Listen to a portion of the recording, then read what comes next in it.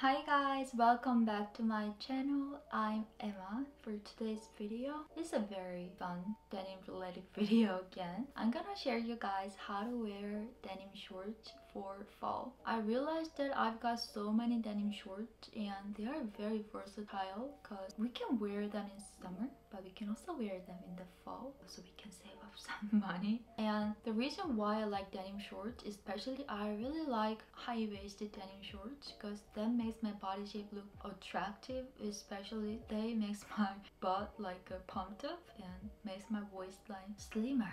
So I really love them. As you guys know, I'm 30 years old, but 10 years later, I will be 40. I'm gonna wear cute denim shorts. Why not? Yeah, so I'm gonna show you guys how to wear them. Without much further ado, let's get right into it.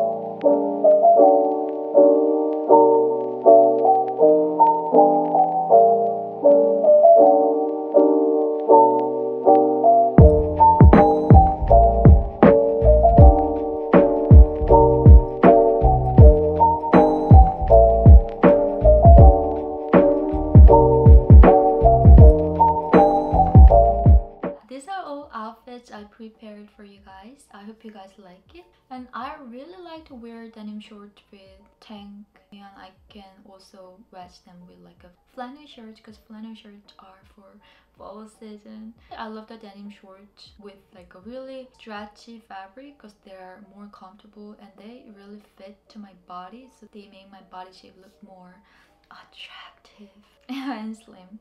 So comment down below which outfit is your favorite and let me know if you guys want any fashion related video. Anyway, thanks for watching it again and I'll see you guys in my next video. Bye guys.